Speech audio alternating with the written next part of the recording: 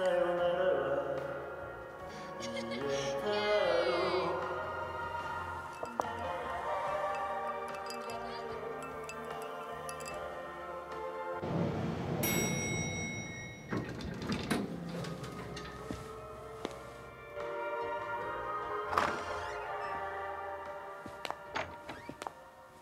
いらっしゃいませ。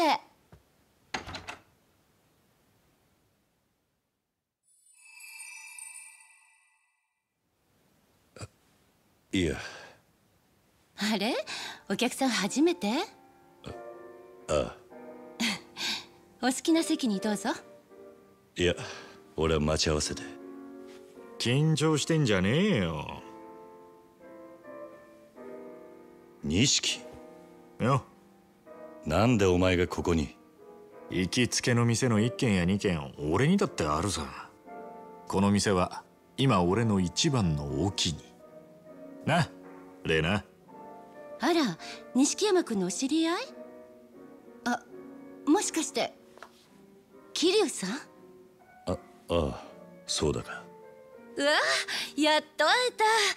一度お会いしてみたかったのよ。錦山君酔うとあなたの話しかしないから。